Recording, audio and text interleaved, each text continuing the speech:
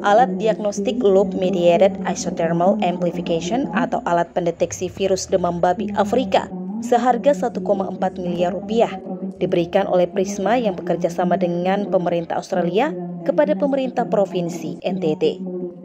Alat lamp ini diterima Wakil Gubernur NTT Yosef Naisoi dan nantinya ditempatkan di beberapa pulau besar di NTT seperti Flores, Sumba, dan Timor untuk mendeteksi virus demam babi Afrika yang belakangan menyerang ternak babi milik warga.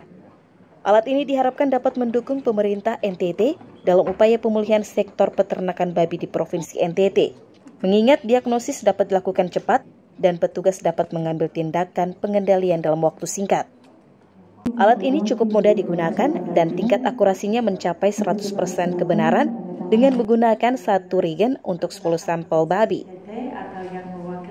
Um, perusahaan dari Australia juga akan datang untuk melatih um, uh, petugas di pemerintah cara untuk maintenance-nya. Karena itu untuk apa ada hibah alat kalau tidak di, di bisa dirawat. Jadi semua um, ya semua pengetahuan harus ada di dengan orang NTT. Jadi um, program Prisma akan membantu um, fasilitasi proses itu. NTT memiliki populasi ternak babi terbesar di Indonesia. Pada 2020, penularan virus ASF begitu cepat hingga menyebabkan kematian lebih dari 500 ribu ekor babi.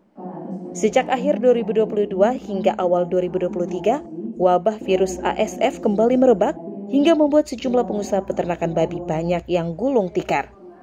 Kalix Taus, Kompas TV, Kupang, Nusa Tenggara Timur.